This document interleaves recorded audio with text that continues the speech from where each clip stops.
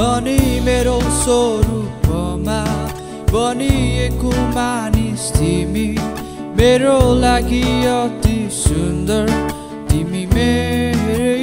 हो अनि मेरो स्वरूपमा बनिएको मानिस तिमी मेरो लागि अति सुन्दर